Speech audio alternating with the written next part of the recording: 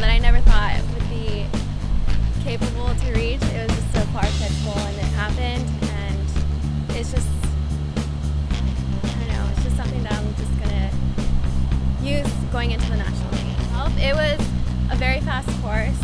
Um, it was flat and a lot of the other runners came prepared and they definitely pushed me to get a better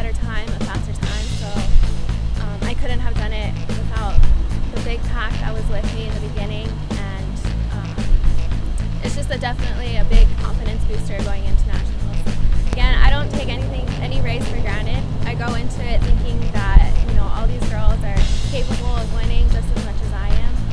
And um, you know, I think about all the hard work that was put in in the summer, all the training and everything, and um, I just it helps me to build my confidence in the race. Being the first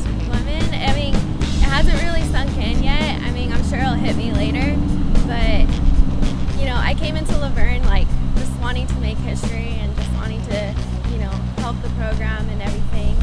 So, you know, I couldn't have done it without my teammates and, you know, just I'm sure it will sink in later, but right now I'm just um, focused on like our next race. I'm just very excited and very happy that I came to